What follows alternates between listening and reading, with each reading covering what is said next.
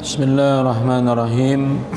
Assalamualaikum warahmatullahi wabarakatuh.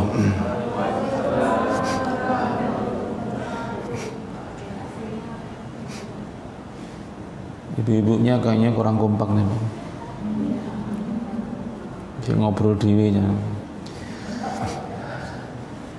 Alhamdulillahi Rabbil Alamin الذي ألف بين قلوبنا فأصبحنا بنعمته إخوانا. الحمد لله الذي أرسل رسوله بالهدى ودين الحق ليظهره على الدين كله وكفى بالله شهيدا. أشهد أن لا إله إلا الله وحده لا شريك له وأشهد أن محمدا عبده ورسوله. اللهم صل وسلم على رسولنا ونبينا وحبيبنا وشفيعنا وقرة أعيننا سيدنا محمد وعلى آله وأصحابه أجمعين ومن تبعهم بإحسان إلى يوم الدين. رضينا بالله ربا وبالإسلام دينا وبمحمد النبي ورسولا. ربنا زدنا علما وارزقنا فهما. اللهم إنا نسألك علما نافعا ورزقا طيبا وأملا متقبلا. اللهم اشرح صدورنا بفيد الإيمان بك وجميل التوكل عليك. وهنا بمعرفتك وامتنا على الشهادة في سبيلك. إنك نعم المولى ونعم النصير. اللهم آمين. jamaah Masjid Ar-Raudhah rahimakumullah barakallahu fikum jami'a. Alhamdulillah mari kita panjatkan syukur kita kehadirat Allah Subhanahu wa taala. Karena pada siang hari ini kita kembali dipertemukan oleh Allah Subhanahu wa taala dalam keadaan sehat walafiat insyaallah. Dalam keadaan diberikan kelapangan oleh Allah Subhanahu wa taala kemudahan oleh Allah Subhanahu wa taala, hidayah dari Allah Subhanahu wa taala, rahmat dari Allah Subhanahu wa taala, barokah dari Allah Subhanahu wa taala. Oleh karenanya semoga dengan kehadiran kita di majelis yang mulia ini mendatangkan keberkahan bagi kita semuanya. Mendatangkan solusi bagi seluruh problematika hidup kita agama ini hadir bukan untuk menyusahkan umatnya bukan untuk menjadi musibah bagi pemeluknya tetapi hadir untuk menjadi solusi untuk menjadi pemecahan masalah-masalah yang yang kita hadapi. Oleh karena semua manusia pasti dia ini menghadapi masalah maka agama ini harus hadir di dalam kehidupan kita. Selama kita masih hidup, maka kita pasti akan menghadapi masalah. Kalau kita hidup nggak punya masalah, berarti itulah masalahnya. Ya, masalahnya adalah merasa tidak punya masalah. Itu merupakan masalah. Ya. Nah masalahnya lagi diingatkan bahwa dia punya masalah, dia merasa tidak punya masalah. Itu adalah masalah lagi. Jadi isinya adalah masalah demi masalah ya. Nah, oleh karenanya eh, jemaah sekalian, mari kita buka yang kita berlapang, kita lapangkan hati kita untuk bisa menerima sepenuhnya datangnya Islam ini ke dalam kehidupan kita. Tidak usah kita mengambil pedoman petunjuk yang lainnya karena petunjuk yang Allah siapkan dalam Islam ini sudah lengkap, sudah sempurna, sudah mencakup seluruh aspek kehidupan. Tak ada satupun pedoman yang dibutuhkan oleh manusia supaya hidupnya selamat bahagia di dunia kecuali sudah ada pedomannya di dalam kitabullah dan sunnah Rasulullah sallallahu alaihi. Jadi kesepakatan kita belum berubah. Gimana Bu? Pokoknya kayak saya sebut satu, subhanallah dua alhamdulillah tiga la ilaha illallah empat Allahu akbar lebih dari empat la haula wala quwata illa billah. Yang empat apanya bu.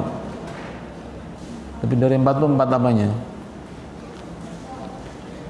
ya nggak tahu pokoknya lebih dari empat. La haula wala quwata illa billah. Baik. Uh, jamaah uh, duhur yang berbahagia kita untuk kesempatan siang hari ini akan membahas mengenai fadlun niyah yaitu keutamaan dari niat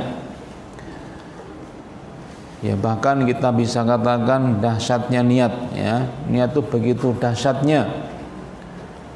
Akan mempengaruhi sendi-sendi kehidupan dirinya manakala dia mengerti bisa memaknai niat itu dengan sebenarnya.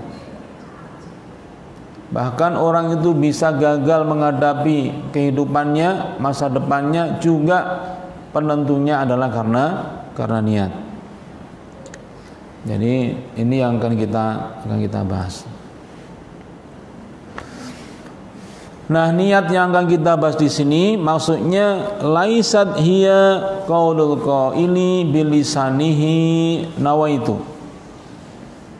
Jadi yang dimaksud pembahasan niat di sini supaya nanti tidak salah paham maksudnya apa ini yang kita maksudnya yang kita maksudkan bukan niat di dalam bab fikih ya. Bukan niat dalam bab ibadah mahdhah. Bagaimana melafalkan niat itu bagaimana? Kita tidak sedang membahas itu, tetapi yang sedang kita bahas adalah kedudukannya. Bukan caranya, tapi kedudukannya. Pentingnya niat itu sendiri. Ini juga supaya tidak keliru paham tulisan ini adalah kutipan bukan tulisan saya. Ya, ini kutipan dari juz 4 dari kitab Ihya Ulumiddin yang disusun oleh Imam Abu Hamid Al-Ghazali. Beliau sampaikan begitu an-niyah laisat hiya qaulul qaili bilisanihi nawaitu Niat ini bukanlah seperti apa yang orang katakan dalam lisannya saya telah berniat. Kata nawaitu dengan lisannya saya berniat. Kata dengan mengucapkan itu bukan itu maksudnya. Nah, gitu maksudnya. Bukan itu. Bal huwa inbi'asul qalbi yajri majra futuhi minallahi ta'ala tetapi yang dimaksudkan adalah dorongan hati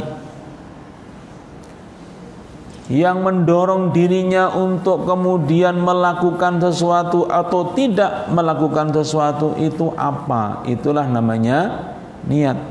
Gitu. Jadi niat ini adalah sebelum amal. Posisinya adalah pendorong amal bukan amalnya sendiri. Kenapa jenengan datang ke masjid? Kenapa jenengan tidak datang ke masjid? Yaitu semuanya hubungannya dengan yang dorong-dorong jenengan itu apa gitu. Pendorongnya apa? Itu yang menjadi penentunya. Jadi dorongan dari hati itu yang menjadi penentunya. Nah kalau sudah bicara mengenai dorongan, maksudnya bukan borongan bu ya, dorongan. Nanti dikira borongan. Nanti sukanya borong-borong apa catering apa begitu ya. Jadi, jadi dorongan. Dorongan itu ya bagaimana seseorang itu mengalami keadaan mudah atau sulit ya itu memang bisa terjadi. Seseorang itu bisa suatu ketika dia mengalami mudah ya mudah untuk membangun niat. Mudah untuk apa mengencangkan niatnya. Ada kalanya sulit. Ada kalanya nggak bisa-bisa menghadirkan niat nggak bisa. Makanya di dalam kitab Riyadhus Shalihin misalnya bab pertama Imam An-Nawawi rahimahullah taala menyebut bab babnya itu namanya bab ihdharun niyah. Ya. Al-ikhlas wa ihdharun niyah. Ikhlas dan menghadirkan niat. Jadi niat itu butuh dihadirkan. Berarti apa? Jangan dibiarkan berlalu begitu. Jangan sambil lalu. Tetapi bagaimana supaya dihadirkan? Kalau dihadirkan artinya apa? Disengaja. Dengan penuh kesungguhan. Tidak yang penting jalan, yang penting berbuat, yang penting beramal bukan begitu. Tetapi niatnya itu dihadirkan. Itu supaya punya daya dorong yang kuat gitu maksudnya. Kalau kita kurang menghadirkan niat maka daya dorongnya itu nggak kuat. Kalau daya dorongnya nggak kuat artinya apa? Akhirnya beramalnya juga nggak bisa kuat. Gitu. Itu yang disebut maksudnya imbiasul qalbi itu begitu. Nah, sekarang bagaimana ceritanya seseorang itu bisa mengalami kesulitan untuk membangun menghadirkan niat kenapa ada yang mudah? Nah, ini masih dalam kitab Ihya. Beliau sampaikan mangkanal ghalibu ala qalbihi amruddin tayassaru alaihi fi aksaril ahwal ihdarun niyah lil khairah. Jadi siapa yang hatinya itu dipenuhi dengan urusan-urusan agama,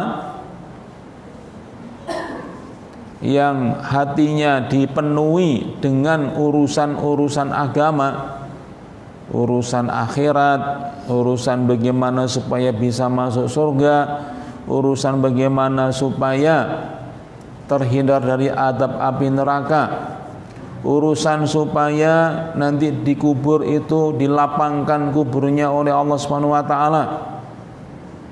Urusannya adalah takut dosa urusannya adalah ingin dapat ridhonya Allah Subhanahu wa taala. Itu namanya urusan agama semua ini. Urusannya adalah gimana saya supaya tidak egois, supaya saya punya peduli kepada urusannya kaum muslimin. Itu namanya semua urusan amruddin, urusan agama semua. Nah, orang yang begini, orang yang hatinya dipenuhi dengan dengan pikiran perasaan seperti itu, maka dia ini akan apa? Ihdarun niyah lil khairat. Ya. Ini akan mudah bagi dia itu untuk menghadirkan niat untuk apa? Untuk supaya bisa banyak berbuat kebaikan. Nah ini begitu modelnya. Ini rahasianya orang bisa niat hadir itu begitu Bu. Karena dia yang dipikirkan yang yang ada dalam hatinya itu selalu yang menggelayutinya itu urusannya nanti akhirat bagaimana gitu. Itu yang membuat kita ini menjadi mudah menghadirkan niat. Ya. Nah, mengapa bisa seperti itu? Karena fa inna qalbahu ma'ilun bil jumlah ila aslil khair karena orang yang tersibukkan ya, hatinya tersibukkan mikirin agamanya, mikirin akhiratnya, mikirin nasibnya nanti sesudah kematian. Orang kayak begitu itu, ya. Itu hatinya condong. Hatinya telah condong kepada asnil khair, yaitu pangkal dari kebaikan. Jadi urusan agama yang tadi kita sebutkan itu itu adalah aslul khair. Itu merupakan pangkalnya orang akhirnya ingin berbuat baik itu di situ. Pangkalnya orang ingin berbuat baik adalah ketika di dalam hatinya itu dipenuhi dengan pikiran-pikirannya menuju kepada akhirat itu bagaimana. Fayam ba'isu ila tafasili ghaliba. Maka kemudian setelah itu dia akan terdorong ya untuk menghadirkan tafasil yaitu apa namanya perincian ya atau cabang-cabang dari kebaikan. Jadi begitu. Resepnya seperti itu. Jadi kalau kita ini coba kalau nggak percaya kita tanya diri kita masing-masing aja.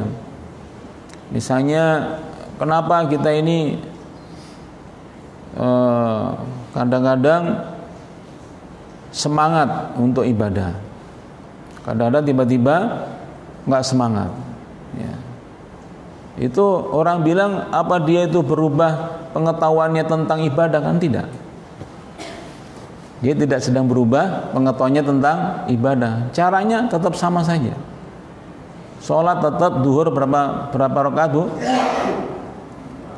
Delapan. Ya, kira delapan. Ya. Tetap empat saja. Sejak Nabi Muhammad SAW sampai kita tetap berapa? Empat rakaat. Sekali ya. Kalau empat gimana?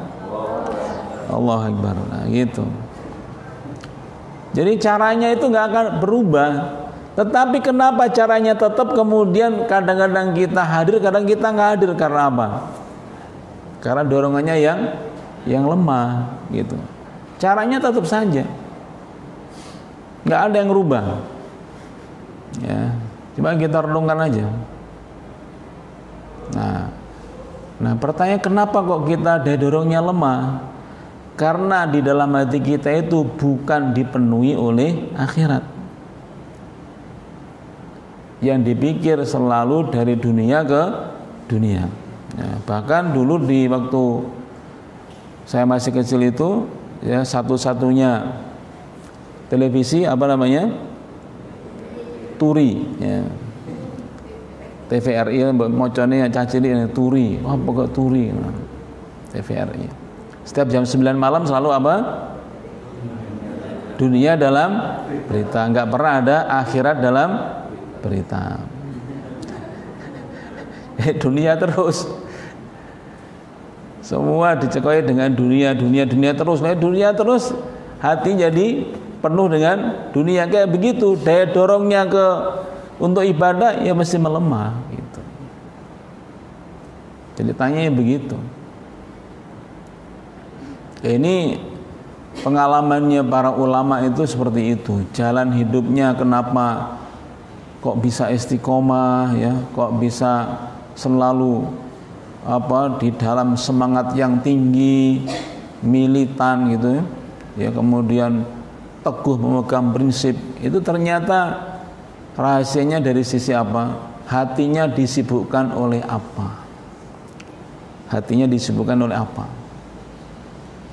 ya ya termasuk kita ini hadir gitu hadir kita ini juga macam-macam. Kenapa hadir di sini? Ya karena ngisi waktu. Ngisi waktu ya. Yang kedua karena istirahat. Ya. Seharian nggak sempat istirahat makanya ke masjid supaya bisa istirahat. Nonton bu ya. Nggih, Bu? Ada apa? Karena apa? Janjian sama temennya. Janjian di masjid. Jadi macam-macam kita tuh hadir ke masjid itu motifnya macam-macam. Ya. Ada yang tujuan tadi hanya untuk ibadah saja, maksudnya untuk sholat. Tahu-tahu diumumkan sama tamirnya, bayu enak pengajiannya barang.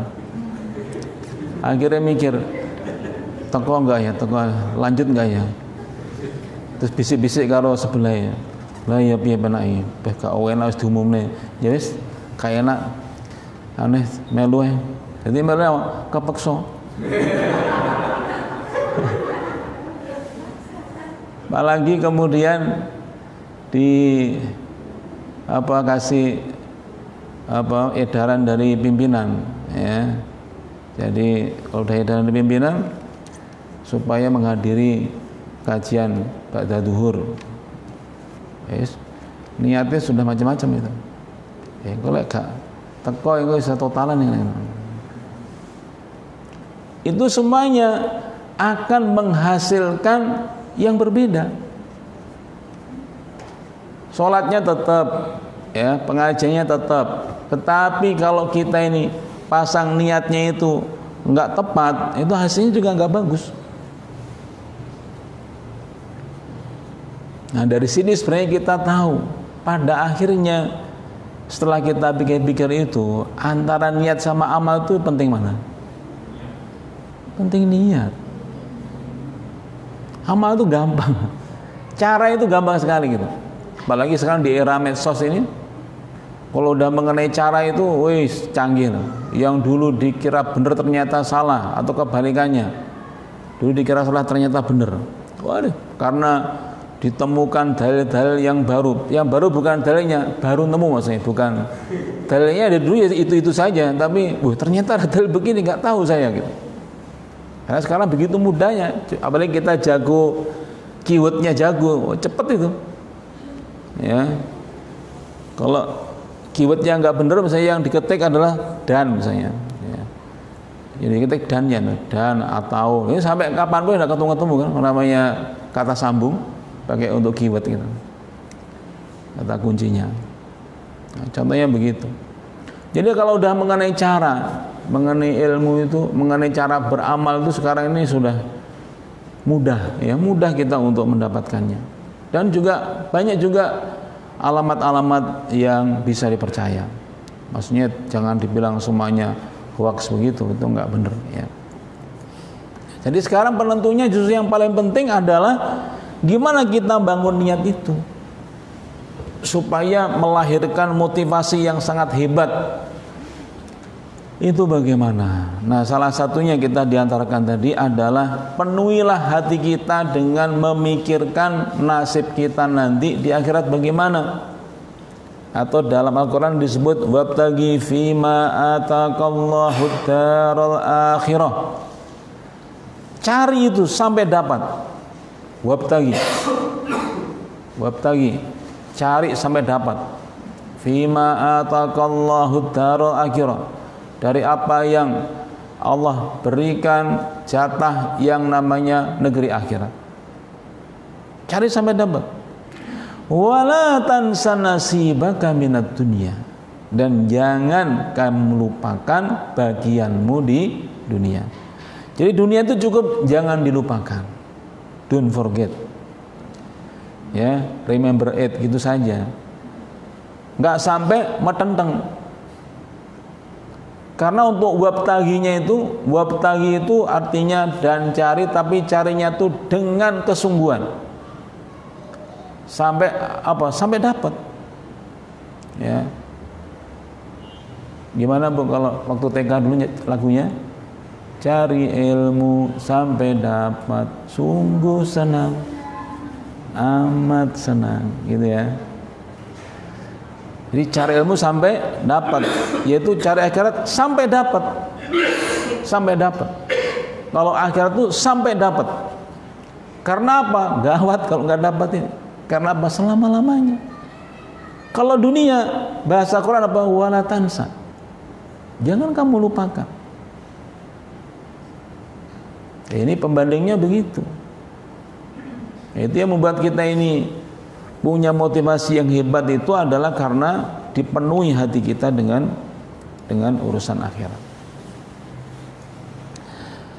Wa man mala qalbahu ila dunya wa ghalabat alaihi lam yatayassar lahu dalika. Sebaliknya siapa yang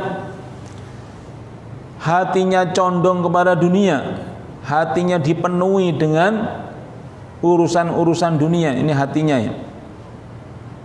Akhirnya urusannya itulah yang menguasai hatinya. Gitu jadi gitu. Akhirnya urusan dunia itu menguasai mendominasi hatinya. Lam lahu dzalika. Maka sulit sulit sekali menghadirkan niat itu. Sangat sulit menghadirkan niat sehingga melahirkan motivasi yang hebat ya untuk beribadah dan taat kepada Allah Subhanahu wa taala. Ya.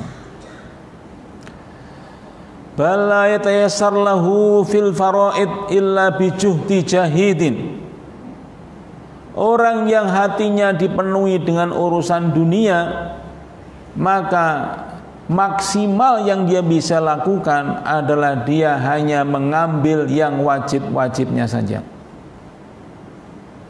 Yang wajib-wajibnya saja. Misalnya sholat hanya lima waktu. Berapa? Lima waktu. La haula wala quwata illa billah.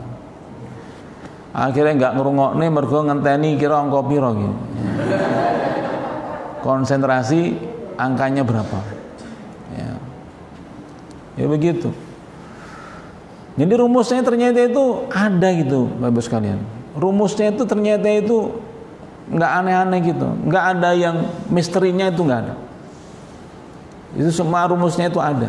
Kenapa orang itu ibadahnya semangat, ketaatannya meningkat. Karena apa? Hatinya dipenuhi dengan urusan akhirat. Gitu loh. Jadi rumusnya ini tidak ada yang istilahnya itu asimetri itu enggak ada. Jadi kalau ini kita lakukan nanti akan begini. Ini kita lakukan akan begini gitu. Enggak ada yang menjadi anomali itu enggak ada. Makanya kita tempuh saja karena rumusnya itu pakemnya itu ada gitu. Hidup ada pakemnya.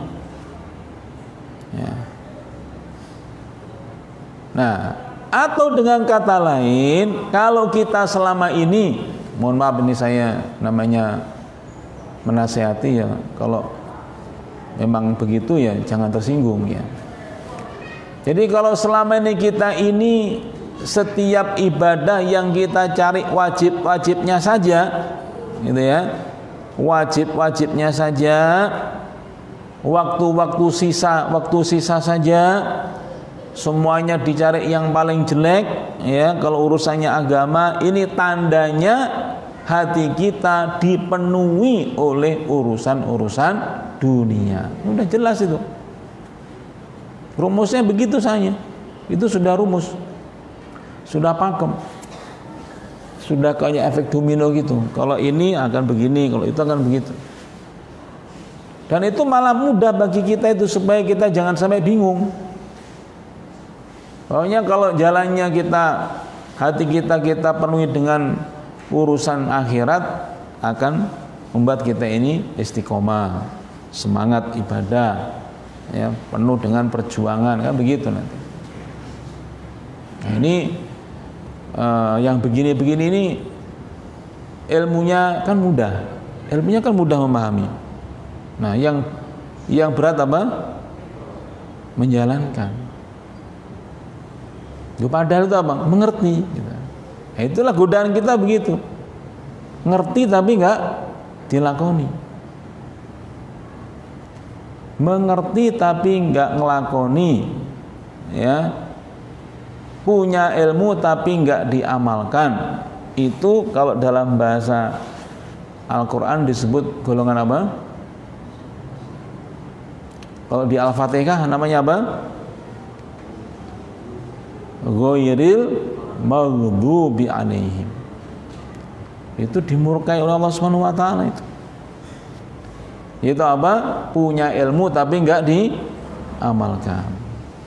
Ada lagi yang satunya beramal tapi nggak pakai ilmu itu siapa abdolin doa kita apa walabdolin dan bukan orang-orang yang sesat. Yaitu apa? Beramal tanpa ilmu.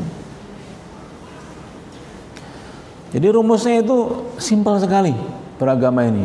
Ya tinggal kita jalani kita tempuh supaya kita ini kemudian tepat mengalokasikan sumber daya yang kita punya. Tepat di dalam mengalokasikan sumber daya yang kita punya. Ya, mari kita bayangkan akhirat itu bagaimana, dunia kita saat ini bagaimana, ketemu nanti rumusnya. Ya. Tuh, ini sudah habis waktunya. Jam berapa, Pak? Habis ya? Ya, kalau ini kita tanya jawab dulu. Mungkin ada yang mau ditanyakan sebelum dilanjutkan. Sudah jam satu. Kurang seperempat kan? Monggo kalau ada yang ditanyakan.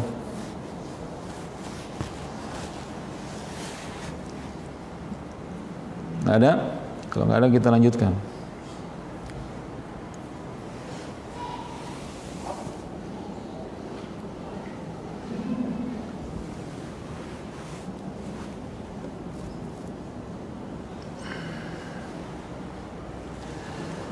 Nah, sebagai pedomannya adalah sebuah hadis yang diriwayatkan oleh sahabat Umar ibn Khattab radhiyallahu anhu bahwa Rasulullah SAW pernah bersabda Innamal a'malu bin niat Sesungguhnya semua amal itu bergantung kepada niatnya. Wa innama likullimri'in manawa. Dan sesungguhnya bagi setiap orang itu adalah apa yang ia niatkan. Jadi bergantung kepada niat Faman kanat hijratuhu ilallahi wa rasuli Siapa yang hijrahnya karena Allah dan Rasulnya Fa hijratuhu ilallah wa rasuli Maka hijrahnya kepada Allah dan Rasulnya Wa man kanat hijratuhu lidunya yusibuha. Tetapi siapa yang hijrahnya itu karena dunia yang ingin diusahakannya Yang ingin didapatkannya. Awim ro'atin yang kihuha atau karena wanita yang ingin dinikahinya fa'ijratu ila mahajur ilahi maka hijrahnya adalah sebatas apa yang dia inginkan itu. Ini sahih muslim uh, nomor 3530 ya. Bagaimana kisahnya atau sabab urut dari hadis ini? Hadis ini kisahnya adalah ada sepasang muda-mudi yang ingin menikah. Ya, ingin menikah, kemudian pas ingin menikah itu ada panggilan hijrah. Rasulullah kumpulkan kaum laki-laki di komando, ayo siapa yang hijrah? Kita harus hijrah ke Madinah. Nah, salah satu pemuda ini minta izin kepada Rasulullah, ya Rasulullah, saya tidak siap hijrah, saya di Mekah saja. Oh ya, kalau itu pilihanmu silahkan. Akhirnya dia memilih untuk tidak hijrah. Kenapa dia nggak nggak hijrah bersama Nabi SAW? Karena katanya ternyata dia ini ada rencana untuk meramal, melamar melamar perempuan. Namanya Ummu Qais. Ya, nama perempuannya namanya Ummu Qais. Pas lamaran itu Ummu Qais ternyata minta ada syarat pernikahan. Ada pernikahan bersyarat. Boleh saya siap menjadi istrimu tetapi syaratnya kamu harus ikut hijrah bersama Nabi sallallahu alaihi wasallam. Waduh. Terus kadung izin? Terus kadung semangat 45 pengennya nggak hijrah karena pengen menikahi ternyata dia malah umum malah membuat syarat syaratnya apa kamu harus ikut hijrah bersama Nabi baru saya mau menikah sama kamu akhirnya apa kembali ke Rasulullah ya Rasulullah saya jadi ikut hijrah jadi saya gitu nah itulah kemudian lahirlah uh, apa hadis ini Ya. Jadi artinya apa tadi? Hijrahnya karena apa? Karena wanita ingin dinikahinya itu. Karena niatnya adalah wanita yang dinikahinya itu dapatnya apa? Dapatnya wanita itu. Itu maksudnya seseorang itu adalah bergantung kepada niatnya itu begitu. Niatnya kita ini apa namanya? ternyata hijrahnya tampak luar, wah ini betul-betul seorang muslim yang baik itu. Diperintah hijrah, berangkat hijrah. Uh, luar biasa. Kan tampak luar kan sama aja. Rombongan dari Mekah ke Madinah tampak luar apalagi di drone itu sama Pak. di drone kelihatannya sama semuanya. Uh, semuanya semangat 45 semua menuju ke ke Madinah. Ternyata ada satu yang tujuannya itu bukan untuk hijrah bersama Nabi tapi karena apa? Memenuhi syarat. Ya, karena SK berlaku kan jadi syarat ketentuan berlaku. Ya, term and